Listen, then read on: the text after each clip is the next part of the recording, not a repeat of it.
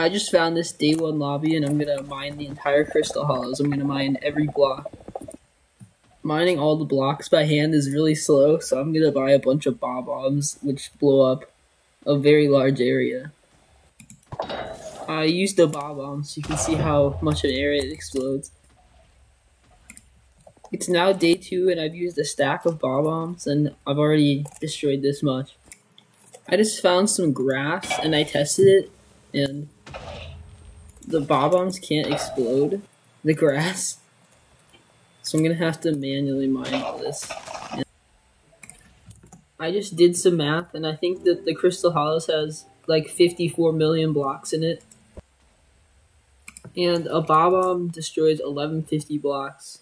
So I would have to use 46,956 of them to destroy the entire Crystal Hollow it's day three now, and I still think no one's noticed that I'm doing this, even though I've destroyed a lot of a lot of space. Someone just told me where Corleone is, so I'm gonna go blow that up soon. I found Corleone, but no one's even farming it, so they shouldn't care that much if I just destroy the whole area. I keep finding these areas where the bombs only blow up like certain parts of an area like over here. I just found another Corleone, so I'm just gonna break this one too. Some guy in the chat saying he got an alloy, but oh, he actually did get an alloy. Oh, alloys are only 400 mil now. I've been mining this for a few minutes, and I just found out that it just respawns on its own. No reason to mine any of this stuff. It's day five, and I had no idea that I destroyed this much already. Not because I already destroyed.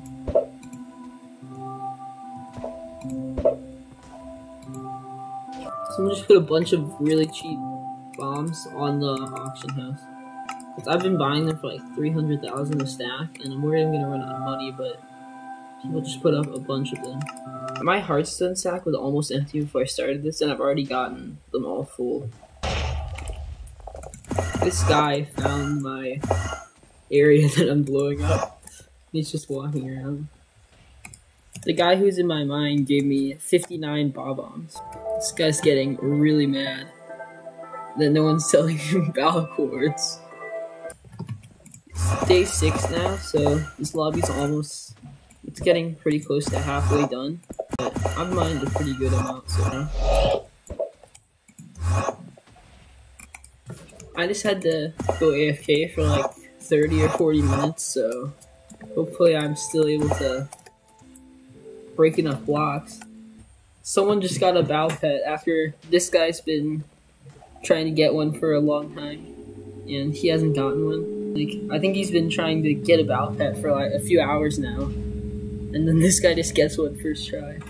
It's day 10 now, and I don't think I'm gonna be able to destroy the whole thing, but it's only two thirds of the way done, and I already have so much destroyed. Yes, there's so much destroyed. I just got this thing saying my Crystal Hollows pass was gonna expire, and I just panicked because I thought it was a game update that was gonna kick me out. I accidentally bought 64 bob-ombs for 999,000 coins because I was sorting by highest price instead of lowest price in the auction house, and I bought the highest priced one. Also, there seem to be not very many of these left. I think it's because I'm I bought them all. A few hours ago, on like day three, I came to the mines of Divan, and I mined. I destroyed this whole statue. Uh, I also mined all these blocks here and some of these pillars, but I guess they regen to this area that I blew up. And this log is gonna post pretty soon, so I'm gonna show you what I blew up so far. I would have blown up the entire map, but there's a limited amount of time. So I wasn't able to. But this is still a pretty big area.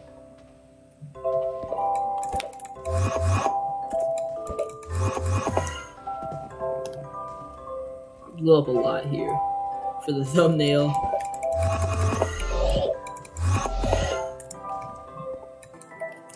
And make sure to subscribe because I'm gonna make videos on turning a bunch of mithril into titanium in the dwarven mines, and I'm gonna show you how to insta mine mithril without an armadillo pet.